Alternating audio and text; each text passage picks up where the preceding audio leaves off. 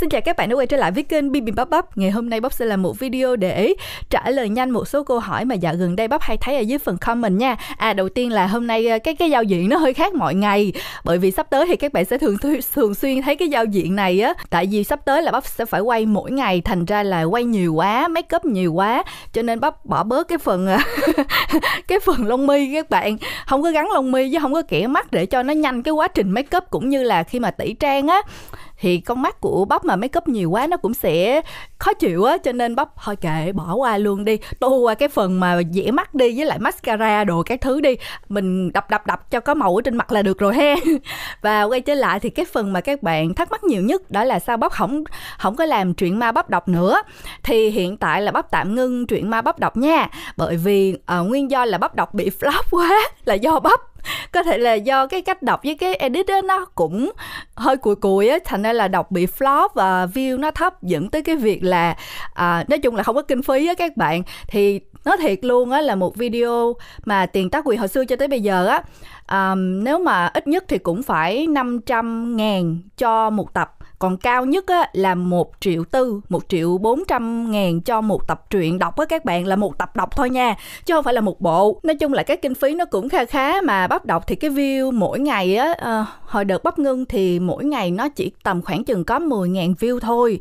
Thì nói thiệt luôn để cho các bạn thông cảm thật ra là đọc truyện nó sẽ nhàn hơn là kể chuyện rất là nhiều nhưng mà chỉ có điều là um, kinh phí thì thì họ chưa có đủ. Nói thiệt là có bộ bắp đọc mà kinh phí là bị âm luôn á. Tức là không đủ tiền để trả tiền tác quyền luôn bởi vì dạo gần đây á, youtube nó cũng đi xuống lắm các bạn ơi. Nói thiệt luôn á đi xuống dữ lắm. Chỉ là bắp vẫn còn thích nhưng mà nói thì cũng chưa biết là trụ bao lâu.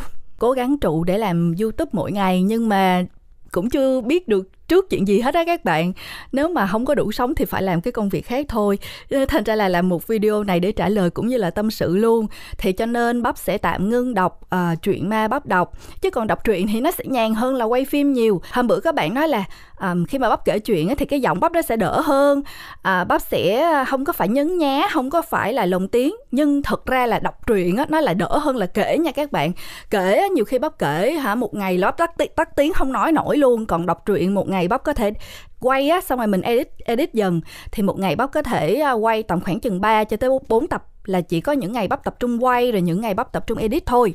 Còn khi kể là bắp phải dàn ra. Cho nên nếu mà các bạn nghe phim ma bắp kể á, mà có những cái tập mà hai, ba, bốn tập á, các bạn để ý cùng một bộ đồ, nhưng mà cái tóc nó sẽ khác, cái make up nó sẽ khác. Là bắp cố tình là bận một cái bộ đồ giống vậy cho nó vô thành một tập thôi. Chứ thực ra là quay nhiều ngày khác nhau, thành ra cái lớp make up và cái tóc á là các bạn sẽ thấy nó nó nó khác. Không hiểu cái này thì bắp cũng không hiểu là tại sao bắp cũng nghĩ là, ủa, khi kể thì mình phải đỡ mệt hơn là khi mình đọc truyện chứ ta.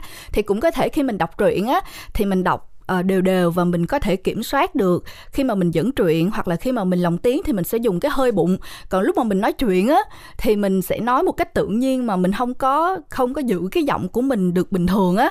Mình sẽ nói theo cái cách tự phát này bắp nghĩ là như vậy. Thành ra là khi mà kể chuyện thì nó sẽ, sẽ cái giọng mình nó sẽ yếu hơn là khi là mình đọc truyện. Khi kể chuyện thì bắp phải coi bộ phim nè phải nhớ chi tiết nè rồi phải tìm cách phân tích.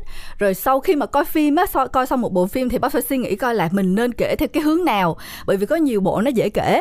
Um, giống như là cái bộ um, do next à, nạn nhân kế tiếp á thì mình chỉ đi theo cái tiến độ phim để mình kể thôi. Nhưng cũng có một số bộ phim như là Home for Rent nhà cho thuê thì mình phải tạo ra một cái một cái tiến độ kể khác để cho các bạn nhìn theo một cái khía cạnh khác. Nó nó hấp dẫn hơn theo như bắp nghĩ là như vậy. Thì mình phải suy nghĩ coi là mình nên kể theo cái hướng nào để người nghe người ta cảm thấy hay nhất và dễ dễ hiểu nhất. À đúng rồi bắp cũng cảm ơn một số bạn mà bắp không nhớ tên là nhiều bạn comment thắc mắc là, ủa, sao bóc không không làm chuyện ma bóc đọc nữa? Thì cũng có rất là nhiều bạn giúp bóc comment để mà giải thích cho những cái bạn đặt câu hỏi á. Thì bóc cảm ơn các bạn rất nhiều nha. Và nếu như mà sau video này mà có ai thắc mắc nữa nếu mà bạn nào biết nguyên do thì có thể giải thích dùm cho các bạn kia hiểu dùm bắp nha. Tại vì nhiều khi bắp cũng không có không có trả lời hết được á. Nhiều khi đang đi trên đường thì bắp chỉ like à, cái comment của các bạn chứ không có ngồi xuống để mà đánh cái tin nhắn được. Rồi về cái rồi nó trôi lui đi luôn. Bắp không nhớ là bắp đã tìm cái comment đó ở trong cái video nào để mà quay lại trả lời. Thành ra là bắp làm một cái video này để mà trả lời chung luôn. À về chuyện ma bắp đọc thì hôm bữa cũng có bạn biết là không có đủ kinh phí thì các bạn mới kêu là hay là bắp mở đồ ni donate đi để cho các bạn đồ donate tiền để bắp đủ tiền mua cái chuyện đó đọc. Nhưng mà thôi nhận tiền đồ donate kiểu kiểu bắp là thôi làm tới đâu nếu mà mình có sức thì mình mua mình đọc. Chứ còn um, nhận đồ nay um, nói chung là cũng nhiều vấn đề lắm các bạn cho nên thôi cứ cứ cứ làm được cái gì thì làm thôi. Về phần phim ma bóp kể thì mình mặc dù là mình không có tốn tiền tác quyền, không có tốn phí tác quyền, nhưng mà mình sẽ tốn nhiều thời gian hơn. Nói chung là được cái này thì mất cái kia thôi các bạn. Chứ còn đọc truyện ma thì nó nhàn lắm, chỉ cần là vô mở lên đọc rồi sau đó là à, mình sẽ nhận xét về cái câu chuyện đó. Và ngày hôm sau thì mình chỉ nhắc lại một số chi tiết ở tập trước rồi mình đọc tiếp thì nó nó nhàn hơn là kể phim nhiều. Nhưng mà nó lại bị flop. Vấn đề là nó bị flop mọi người ơi. Thành ra là thôi để dạo gần đây bắp chuyển qua kể phim ma cho cho cái kênh của mình nó bớt flop nó bớt flop đi ha. Và kế tiếp là khi mà kể chuyện cũng có một số bạn thắc mắc là à, sao bắp không uh, chèn hình thì nói chung là chèn hình nhìn vô nó bị rối khung cảnh. Nguyên do ngày xưa bắp chèn hình á là bởi vì ngày xưa bắp giữ tên nhân vật mà kiểu nó khó nhớ có nhiều nhân vật nó khó nhớ thành ra bắp chèn hình để cho các bạn nhìn vô các bạn dễ nhớ. Nhưng mà bây giờ thì bắp đã đổi cái tên đó qua tên Việt Nam và bắp cố tình đặt những cái cụm tên nó dễ nhớ. Ví dụ như là Bình Hoa rồi các bạn đa phần các bạn kêu sao bắp đặt tên hay đặt tên đọc quá vậy thì đa phần là các bạn gợi ý cho bắp đó. Các bạn ở dưới phần bình luận á các bạn kêu bắp ơi đặt cái tên này nè à, tên Nghĩa Trang nè à, tên Từ Trần nè tên Hoàng Tuyền nè nè là các bạn gợi ý hết đó chứ không phải một mình công sức của bắp đâu. Bắp đọc bắp thấy cái tên cũng dễ thương cũng vui mà ghép lại nó cũng dễ nhớ á. Thành ra là bắp đã sử dụng để mà kể. Và đã là nguyên nhân mà bắp không chèn hình bởi vì cái cái cụm tên đó nó đã dễ nhớ cho nhân vật rồi mà còn chèn hình nữa thì nó sẽ rất là rối. Bởi vì các bạn nói là nhiều khi nghe tên thì cứ tưởng tượng ra là nhân vật người Việt á trong khi một số bộ phim thì là nước khác. Cho nên khi mà bắp giới thiệu phim bắp đều nói là ờ phim là từ cái nước này nè nhưng mà bắp sẽ đặt tên tiếng việt để cho các bạn dễ nhớ thôi. Rồi cũng có bạn gợi ý mà bắp cũng làm một lần rồi là ví dụ như um, uh, ví dụ như uh, cái tên đó là um, Sari đi thì mình lấy chữ chữ ri thôi.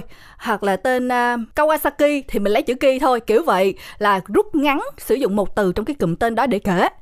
Thì ngày xưa bóc cũng đã từng dùng cái cách này rồi nhưng mà nó khó nhớ các bạn nó vẫn khó nhớ. Khi mà kể chuyện á, thì chắc chắn một điều không thể nào mà hoàn hảo một trăm phần trăm được. Nhiều khi bóc kể bóc còn gọi lộn tên nữa. Và mục đích mà bóc kể chuyện á là muốn mang câu chuyện đến với các bạn càng dễ hiểu nhất càng tốt. Mà nhiều khi chính bản thân bắp còn rối thì làm sao mà bắp kể được cái câu chuyện đó. Mà khi mà nghe á, thì người ta cứ kiểu ri, rồi ki, rồi sa, rồi được cái thứ thì nó cũng khá là khó nhớ.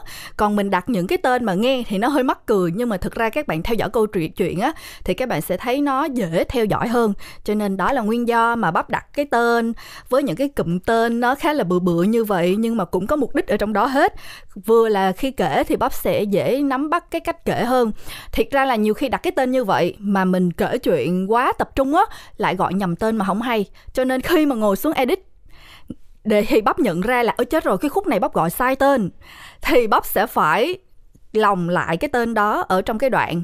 Tức là ví dụ như tên hoa mà bắp nói lộn thành tên um, tên huệ đi thì bắp phải phải ghi âm lại cái chữ đó để lòng vô đúng cái khúc đó để gọi đúng tên. Thì nếu mà bạn nào để ý có một số tập cái miệng của bắp với cái lại cái ờ, cái âm thanh phát ra là hai cái tên nó khác nhau là bởi vì bắp lồng lại để cho các bạn nghe các bạn không có cảm thấy bị ờ, bị lộn bị nhầm lẫn á. Nhưng mà cũng có những cái khi mà bắp ngồi edit một mình á nhiều lỗi mình không có tự sửa không có tự nhận ra được. Thành ra là nó cũng nó cũng trôi đi luôn các bạn.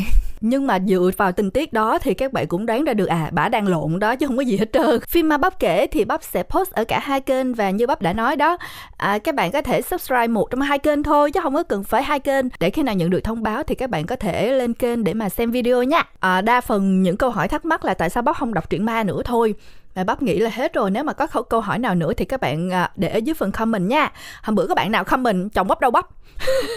Ủa? Ủa là sao? Chị chồng bắp ở nhà thôi chứ đâu có lên kênh đâu mà chồng bắp đâu bắp bắp là sao? À, và nếu mà bạn nào có thắc mắc gì nữa thì các bạn có thể để ở dưới phần comment. Khi mà bắp thấy câu hỏi nào mà nhiều người hỏi thì bắp sẽ trả lời ở những video kế tiếp nha. Và sắp tới như bắp đã nói bắp sẽ ngưng truyện ma bắp đọc là flop là do bắp thôi nha các bạn ơi. Thực sự luôn là một phần bây giờ top top ra các bạn thành ra là người ta coi um, coi kênh youtube cũng ít.